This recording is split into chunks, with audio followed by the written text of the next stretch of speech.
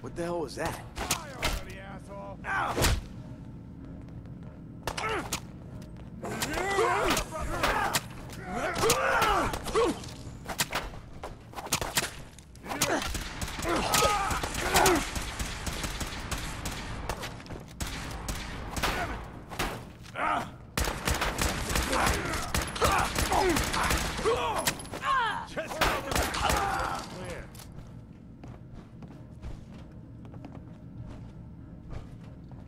Amari, Your memories of Vault 111?